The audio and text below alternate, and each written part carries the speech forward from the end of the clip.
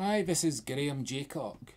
Now, why are classical musicians and uh, I'm being I'm focusing on pianists here. Why are they bullying me? Because I've sight read for over 10 years now and not one classical musician has publicly acknowledged my contribution. Now, that is bullying. And if we're living in 2021, why are adults in the classical music industry bullying another person? Because isn't the purpose of music to get people together? And so we have more music to share. Now, the argument that people will use is, oh, it's not good enough. But I'll come back with the ABRSM because they are the standard. The Royal Associated Board of Music. There may be other boards, but this is one of the best. And their examination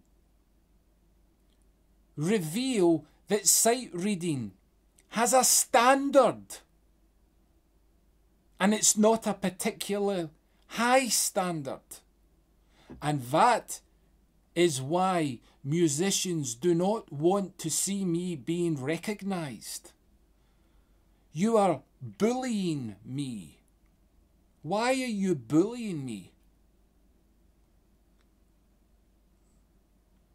You know, my channel, right?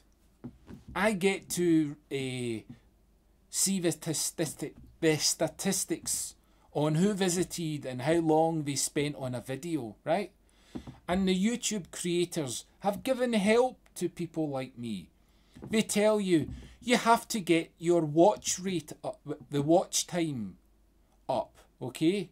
If somebody spends only 20 seconds, you're not going to get a, a big audience. It's restricting you.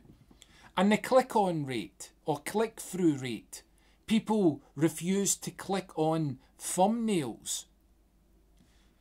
But this is where the the world of musicians, right, and the public are split into two categories. One knows what sight reading is. Two, those who do not know what sight reading is. And here is where comments come in. They say, you know, you should stop recording music that you can't play properly, right? And by so doing this, other viewers who are none the wiser to what sight reading is re- rejects my contribution they don't want to look at it. But I can hold the musicians to account because that is why we have the law to stop oppression. Now, I remember the British pianist. It's very strange. The British music scene. Oh, we're all for music. We're all for supporting well, let's remind uh, the British public uh, who Emma Raducanu is. She's British. And you know, before she proved herself she could play against the professionals, the British Tennis Association, they supported her. They had faith in her.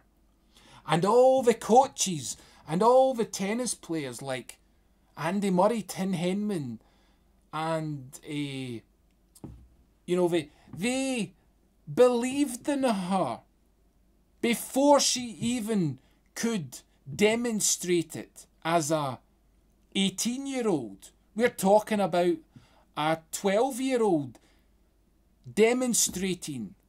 And this is why the tennis, the tennis association in Britain supported her.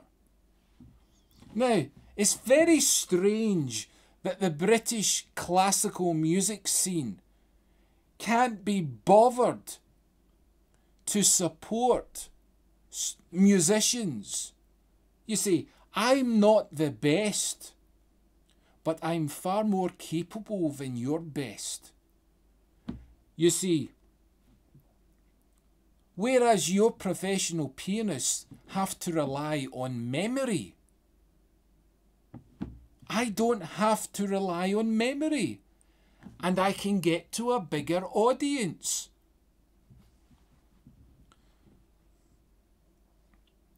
You know, why do you oppress me? What have I ever done to you? Please answer that question because time is running out.